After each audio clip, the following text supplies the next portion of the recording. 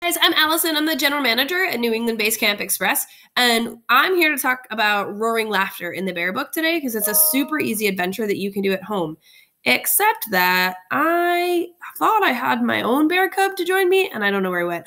there he is! He's a pretty funny guy, and his name is Xander.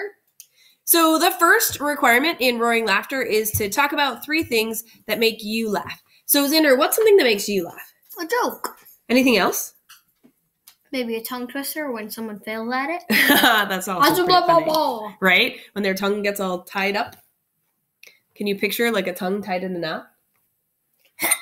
all right. So the first requirement is to think about things that are funny to you and to share them with your family.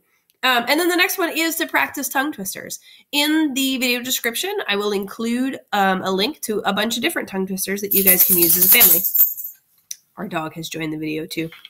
Um, the third requirement is to create your own story and then take out the nouns, the verbs, adverbs, adjectives, and basically make a um, Mad Lib type story. If that's too much for you guys, I included a link to a few Mad Libs that might be make a good funny story. But you could write a story as your family as a family too. We're gonna try this with the Xander's Den online tomorrow, um, where the whole group's gonna write a story. I'm gonna write it down, and then we're gonna turn it into a Mad Lib. Um, and then the last piece that you have to do in order to earn this adventure is to share two jokes with your family or you're done. So, Xander, tell me a joke. What did the apple say to the banana? I don't know. What did the apple say to the banana? Nothing. Apples don't talk. Oh, thanks. That's so funny. Nothing. They don't talk. All right, Apples don't great. talk. Thanks. Awesome. You got another one? Yeah. Why do ducks have webbed feet? I don't know. Why?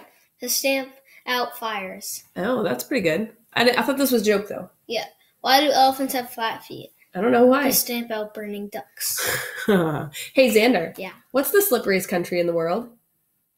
Greece! All right, guys, have fun with roaring laughter, and we can't wait to hear about it. Make sure you leave us some comments, or um, you can send me an email at allison.beatty at scouting.org to tell me all about your adventure.